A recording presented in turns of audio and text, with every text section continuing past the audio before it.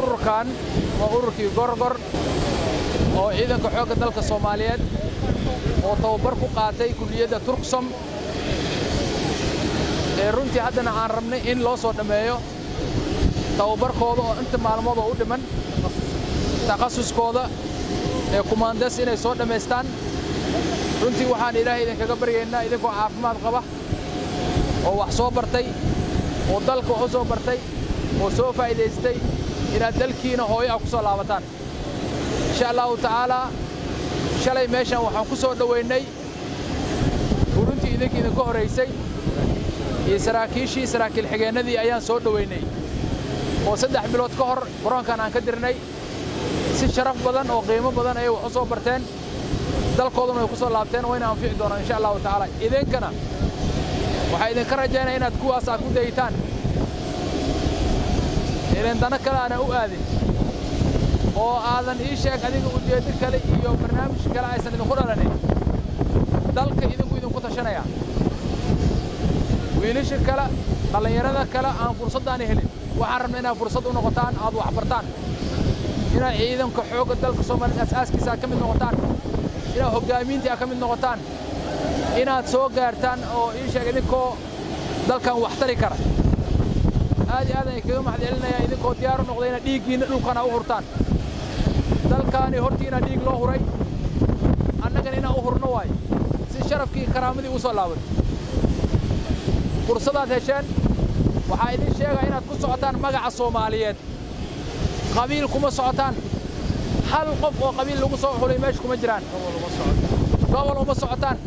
Isteed keligiis uma socotaan ee waxaa u socotaan jamhuuriyadda federaalka soomaaliyeed waxaad tihiin ciidanka ka fog aan shuqulna ku lahayn qabiil waxaad tihiin ciidamada xoogga dalka soomaaliyeed ciidamada aan rabna in sharafkii iyo karaamadii ummadda soomaaliyeed inay soo celiyaan aan rabna ayaa tihiin ilaahay ha idin garab galo waana badan uma baahnidiin waayo waxaad diyaar u noqotay inaad dalkiina u dhimitaan annagana waxaan diyaar u nahay مدحوينها الجمهورية الفدرالية الصومالية وديار وياي. إنه قرن كي شرف كي إكرامه يقول هندي وسؤالي قارهان إذا ما ذحوق دل الصومالية رئيس الوزراء أسأل خير سدوك له أسيجن وديار وياي إذا ما ذل بس وادوقتي إن تركوب كي برنامج كي وضنا وحقوبة هنا إذا أقول له إذا تيله إذا إيش يقولون حساب تبي كلا. أن قبير شغل كلهن oo qarankan uu soo gaadhsiin kara dalka kale oo daraskeenna ah tayadiisa iyo tayadiisana ay sugan tahay. Aad iyo aad ayaan idinkaga mahad celinayaa waana ku faraxsannahay inaan maanta aan qayb ka noqdo sagootintiin. Waxaan rajaynaynaa idinkoo wax soo bartay oo soo dhammaystirtay takhasuskiin inaad dalkiina hooyo ku soo laabataan.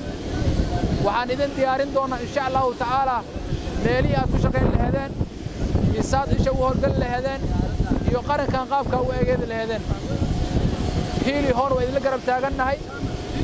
Meeshana waa idinku imaanayaa insha allahu tacaalaa halkan waa laidinku soo dhowayn doonaa. Waxaan ilaahay ka baryayaa inuu ilaahay idinka dhigo kuwii anfaca dalkan iyo dadka iyo diinta ummadda soomaaliyeed dadkii anfaca. Ilaahay idinka dhigo. Insha allahu aad aada u mahadsan tihiin waxaan u imaaday inaan idin maxsalaameeyo waa idin jecelnahay? Annagoo idin jecelna soo laabta insha allahu tacaalaa fursadda